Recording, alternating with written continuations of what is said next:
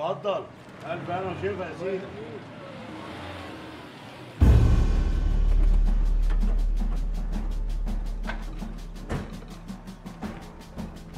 حاج توفيق.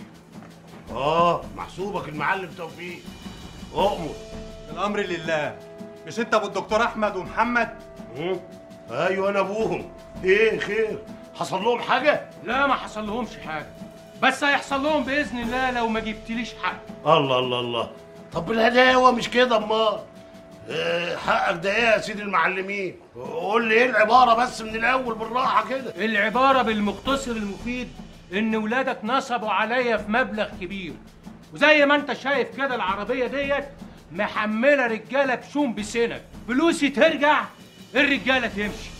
فلوسي ما ترجعش الرجالة هتكسر محلاتك وعيالك وتكسر عظمك انت كمان.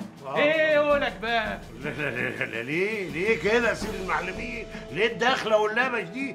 لو ليك حق واجب تاخده. ما نتفاهم بالراحة كده. ملوش لزوم الرجالة والشوم والتكسير والسكاكين. انت فلوسك كام بالظبط؟ 3000 جنيه. بتقول كام؟ في الحقيقة أنا ما أقدرش أكلم وزير التربية والتعليم في الحكاية دي. لأن منع إقامة أي معارض هو قرار أمني.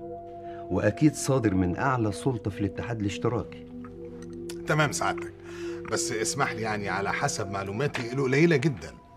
إن السلطة العليا للاتحاد الاشتراكي يهمها جدا إن الجماعات يصفوا الشيوعيين.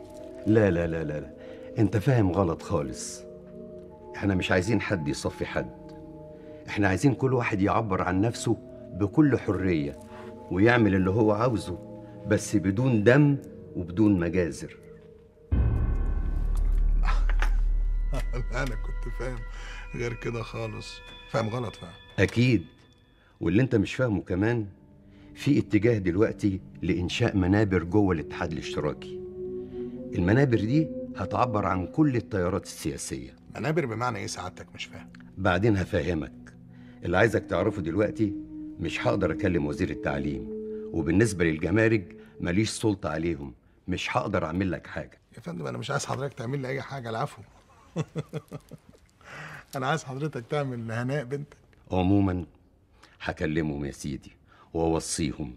بس هتدفعوا جمارك هتدفعوا جمارك ما يقدروش يعفوكوا لكن ممكن يرعوكوا قول لي أنتوا جايبين حاجات كتير قوي؟ لا مش كتير ومش قليل. أنا هكلمهم وأوصيهم زي ما قلت لك. وهديك كارت كمان. ربنا يحفظك يا فندم. يمكن يساعد. العفو يا فندم طبعا هيساعد. العفو. بس ما قلتيش حضرتك المنابر عبارة عن إيه؟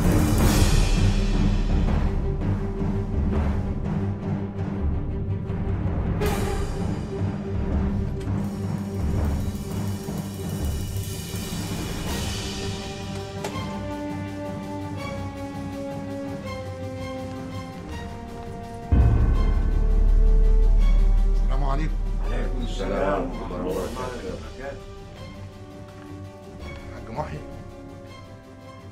طب تنصب على الناس يا أحمد. لا عاش ولا كان اللي يقول كده يا حاج. لا عاش وكان يا دكتور. وجالك عشان ياخد حقه كمان. امال فين سميحة؟ ما تخافش ما عرفتش حاجة. فلوس الراجل فين يا أحمد؟ موجودة موجودة يا حاج. ولما هي موجودة ما رجعتهاش ليه؟ كلت عليا حقي ليه يا دكتور؟ إحنا ما بناكلش حق حد. قلت لهم يا أحمد على اللي حصل بالظبط. قال لي إنكم ضحكتوا عليا. حتى خضر. لا. لا لا خضر ما ضحكش عليك ولا عمل حاجة. إحنا اللي محقوقين. بس أنت برضه يعني كنت محبكها مع محمد قوي. فيها إيه لما تستنى على فلوسك؟ ما إحنا بنستنى على البقالين لما نديهم بضاعتهم. الله. فيها إيه لما تستنى أنت كمان؟ يا سلام يا أخي. فلوسه هو حر فيها. يستنى ما يستناش. شيء ما يخصكش. كلامك مظبوط يا حاج.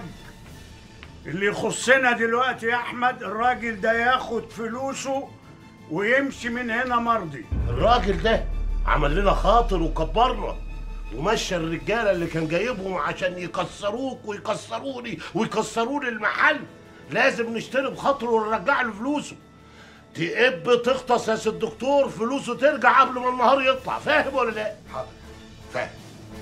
بس ممكن يعني بعد النهار ما يطلع. خلاص. يبقى يبات معانا للصبح. يبات فين بس يا حاج؟ في أي حتة يا محمد؟ لا لا يبات فين؟ لا مفيش داعي للبيات.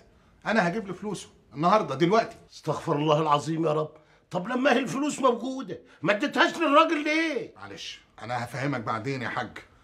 فين فتحي؟ انت عايز فتح ليه يا واد ما رضيناش نقول لفتحي عشان مراته ما تعرفش تعمل لنا فضيحة. خير ما فعلت. ماشي يا حاج محي. أنا هديك فلوسك دلوقتي. بس مش هديها لك بالمصري. هديها لك ريالات. ريالات؟ هو الدكتور بيتاجر في العملة ولا إيه؟ إيه ده؟ هي العملة كمان بيتاجروا فيها؟ أمال يا حاج. وهتجيب الريالات دي منين يا سي الدكتور بعدين يا حاج هقول لك بعدين. عن اذنكم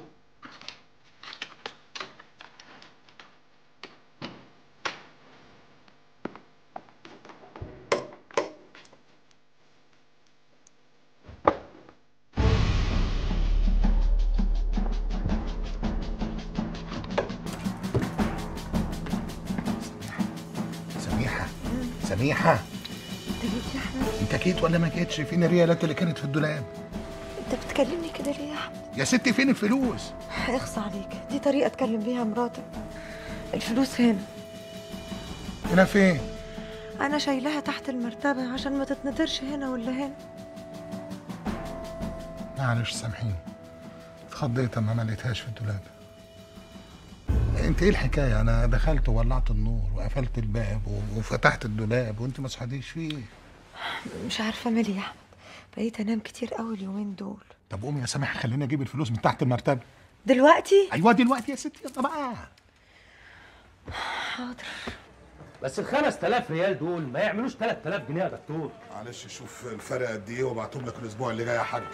طبعا مش هنحسبه بحساب البنك. بلاش منقره بقى الله يكرمك. ونقرة إيه يا دكتور؟ ده أنا بخدمك.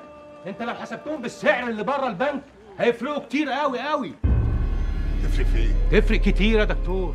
سعر البنك أقل من السعر اللي بره يجي خمسة ساغ وساعات سبعة ساغ. اضرب بقى سبعة ساغ في 5000 جنيه. شوف تفرق معاك قد إيه. أنت بتتكلم بجد؟ هي الحاجات دي فيها هزار يا دكتور. تمام. الله الله الله. دي بقت شقة بجد يا حبشي. إيه شقة بجد دي؟ وأنا كنت عايش في عشه فراخ قبل كده ولا إيه؟ يا جدع مش قصدي بهزر معاك. وسفرة كمان ما شاء الله. دي جديدة دي ولا مستعملها يا حبشي؟ مين اللي جابها لك؟ أقول لك مين اللي جابها لي بس ما تجيبش سيرة لحد. بتقول يا جدع في إيه؟ أنا اللي جبتها. في إيه يا حبشي؟ ما طبيعي أنت تجيب عفشك. عيب ولا حرام يعني أنت تجيب عفشك؟ لا بس آه، آه، عرف الجواز يعني ما بيقولش كده. عرف؟ عرف إيه يا حبشي؟ آه، يعني ال- آه، سي فتحي عرف الجواز يعني اللي ليك واللي عليك. آه، عرف الجواز اللي بيحصل في ال- في الجواز يعني. آه ما ده حسب الاتفاق. هو المتعارف عليه يعني عندنا في العيلة إن العروسة بتجيب المطبخ وملزماته والنجف والسجاد. آه، أيوه ما أنا طلعت العروسة. جبت الحاجات دي كلها برضه. ما تلاقيك مش دافع مهر. ولا عايزني أجوزك أختي وأجيب لك النجف والسجاد كمان. ودفعت مهر كمان برضه.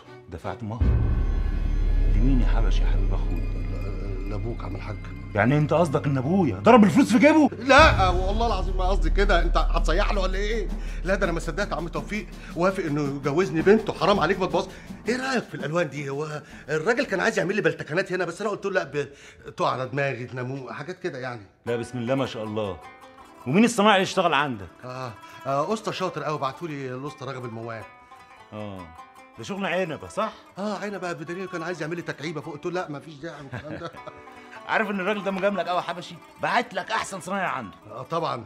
مجاملني مع إنه ما يعرفنيش. تعرفني أنا يا جدع. عارف إنه يعرفك كويس قوي. وفي بينكم وبين بعض عيش وملح. أكتر من عيش وملح. الراجل ده هو اللي مربيه. طب يا أخي طالما مربيك. وفي بينكم وبين بعض عيش وملح. ومجاملك فيا. روح اسأل عليه. والله نسيت يا حبشي. دماغي مقلوبة اليومين دول. معذور. إذا كنت مسافر وناسي إن أختك مديحة هتتجوز. يبقى هتفتكر إنك تروح تزور الحاج راغب الموال. لا إن شاء الله أروح أزوره. ده أنا ناوي حتى إن أنا أجل سفري وأحضر فرحك أنت ومديحة. آه. بس ربنا يهدي بدرية.